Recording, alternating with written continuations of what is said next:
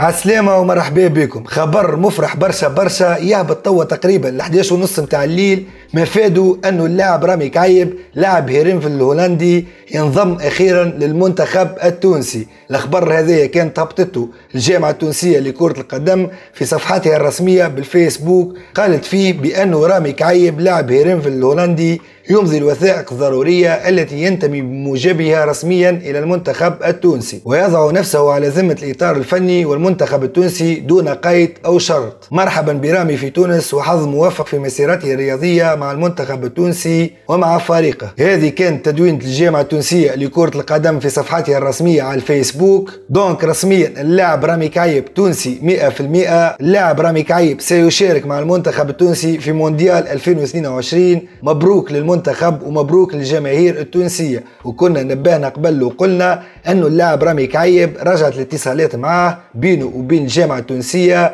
حيث أنه الوكيل أعمال متاعه كان اتصل بمحمد سليم بن عثمان وعبر له عن رغبة اللاعب في حمل قميص منتخب تونس. رغم أنه اللاعب كان اعتذر سنة 2018 عن دعوة المنتخب الأولمبي التونسي للمشاركة في لقاء ودي ضد منتخب إيطاليا وهذا كان بسبب الإصابة اللي حرمته من الانضمام للتربص. وبصراحة اللاعب كان متردد برشا في قبول دعوة المنتخب التونسي إلا أنه التحمس متاعه وحلم كل لاعب في المشاركة ببطولة كأس العالم لكرة القدم خليت رامي كعيب يقبل أنه ينضم للمنتخب التونسي باش يشارك في كأس العالم هذه. donc مبروك علينا انضمامه ربي يوفقه. إن شاء الله يقدم الإضافة للمنتخب وخاصة أنه المركز نتاعو نستحقوه برشا. لاعب يملك فنيات عالية والأكيد أنه باش يقدم الإضافة للمنتخب. وإن شاء الله ينسجوا على منوال بقية اللاعبين كيما يوسف الشرميتي وهيثم حسن وإسماعيل الغربي وينضموا زاد المنتخب التونسي ويشاركوا في كأس العالم هذه. ونقدموا وجه باهي للمنتخب. لهنا نوصلوا لنهاية الفيديو. مشكورين على المتابعة. ما تنساش تعمل j'aime للفيديو subscribe القناه باش يوصلك جديدنا. وتوا ما ليا كان نقول لكم على خير.